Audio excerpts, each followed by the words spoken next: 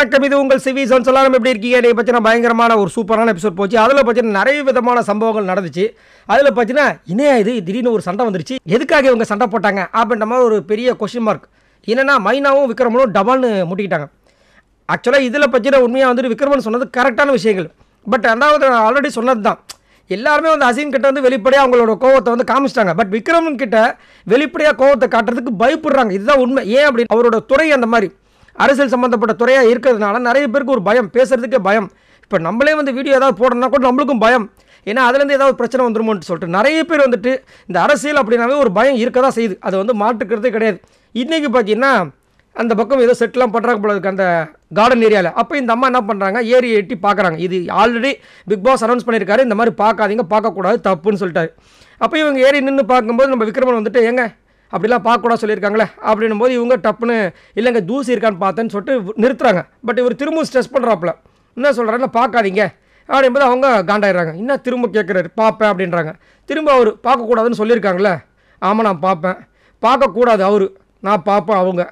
அது ரூல்ஸுங்க. நான் பார்ப்பேன் இவங்க. திரும்ப ரூல்ஸ் மாரி நீங்கள் பார்ப்பீங்களா? ஆமாம் நான் பார்ப்பேன். இப்போனா உங்களுக்கு? அப்படின்ற மாதிரி இவங்க. இப்படியே கடைசியில் வந்து செமையாக முட்டிக்கிச்சு. அதுக்கப்புறம் இந்த மைனா வர்றாங்களா விட மாட்டுறாங்க விக்ரமன் திரும்ப ரெஸ்ட் ரூம் போயிட்டு வராரு. வரும்போது ப்ரோ நான் பார்த்துட்டேன் ப்ரோ அப்படின்னு கலாய்க்கும் போது அவங்க அவர் வந்துட்டு உடனே டென்ஷன் ஆகிட்டார் உங்கள் இஷ்டங்க நீங்கள் தான் சொல்லிட்டீங்களே அப்படின்போது ஏன் இஷ்டம் தெரியுதுல அப்புறம் எதுக்கு நீங்கள் உள்ளே வந்தீங்கன்னு கேட்டாங்க டப்புன்னு. அப்போ அவர் டென்ஷன் ஆகிட்டு கத்துறாரு. நீங்கள் இங்கே ஒரு கண்டஸ்ட் நானும் ஒரு கண்டஸ்ட் நீங்கள் எது பண்ணாலும் நான் கேட்பேன். தவறுனா தட்டி கேட்பேன். நான் இந்த வாரம் கேப்டனாக இருக்கேன் எல்லாருமே கேப்டன் அப்படின்னும் போது நானும் கேப்டன் தானே. இப்போ எனக்கு அந்த உரிமை இருக்குல்ல அப்படின்போது கேப்டன்னா உங்களுக்கு ஒரு ரூல்ஸ் இருக்குது ரூல்ஸை ஃபஸ்ட்டு நீங்கள் தான் ஃபாலோ பண்ணணும் அப்படின்போது அவங்க ஆமாம் நீங்கள் அப்படியே ரூல்ஸை ஃபாலோ பண்ணி கிழிச்சிட்டீங்க அப்படின்னு அவங்க சொல்ல உடனே இவருக்கு டென்ஷன் ஆகிட்டு இவர் டப்புனு ஒரு விஷயத்தை கிரியேட் பண்ணுவாப்புல. என்ன? இந்த வீட்டில் உங்களுக்கு என்ன ப்ரிவிலேஜ் கொடுத்துருக்காங்களா? அதாவது ஸ்பெஷல் ப்ரிவிலேஜ் அதாவது இவங்களை மட்டும் பொத்தி பொத்தி வளர்க்குற விஷயங்கள். அது உண்மை தானே நம்ம தான் பார்த்துட்டு இருக்குமே. ஏன்னா மைனா வந்துட்டு எப்போவோ வெளியே போக வேண்டிய ஆள். பிக் பாஸ்க்குள்ளே இன்னும் இருக்காங்கன்னா அது வந்துட்டு காரணம் உங்களுக்கே தெரியும். பிக் பாஸ் கை பிடிச்சி கூப்பிட்டு வர நீ ஒன்றும் கவலைப்படாதம்மா வாமா நான் கூப்பிட்டு போகிறேன் நீ எதுக்கு டென்ஷன் ஆகிற? உன் பக்கத்தில் யாராக இருக்காங்களோ அவங்களும் வெளியே அனுப்பிச்சிடுவோம் நீ என் கூடயே வான்னு சொல்லிட்டு கையை பிடிச்சி கூப்பிட்டு வந்து இங்கே வந்து நிறுத்தி வச்சிட்டாப்புல. அதுவும் இன்றைக்கி அவங்களுக்கு அந்த பயண வீடியோ போடும்போது அவர் பேசின பேச்செல்லாம் பார்க்கும்போது செமகாண்டாயிடுச்சு என்னத்தான் சொல்கிறது ஆனால் இந்த கான்வர்சேஷனில் உண்மையாக பார்க்க போனால் நம்மளுக்கு விக்ரமனோட விஷயங்கள் நிறைய வந்துட்டு முரண்பாடுகள் இருந்தாலும் இது அவர் சொன்னது தப்பு கிடையாது.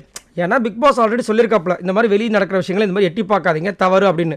அதே மாதிரி இதுக்கு முன்னாடி தவறுன்னு பிக் பாஸ் சொல்லியும் எல்லாருமே பார்த்துருக்காங்க. அது வந்து தனலட்சுமி ஷிவின் இன்னும் ஒரு சில பேர் சொல்லிட்டே போகலாம். இன்றைக்கி அவர் சொன்னதில் தப்பு கிடையாது. பட் என்னென்னா அவங்களுக்கு என்ன ஆயிடுச்சுன்னா இவர் சொன்னால் நம்ம கேட்டாகணுமா? எப்போ பார்த்தாலும் இவருமா ஆர்டர் போகிற மாதிரி போட்டுட்ருக்காரு. அப்படின்ற மாதிரி அவங்க எடுத்துக்கிட்டாங்க. இங்கே அவர் சொன்னது வந்துட்டு எனக்கு பெருசாக தவறாக தெரியல. சரி உங்களோட கருத்தை சொல்லுங்கள் இதில் யார் மேலே தவறுன்னு நினைக்கிறீங்க? விக்ரமன் மேலையா?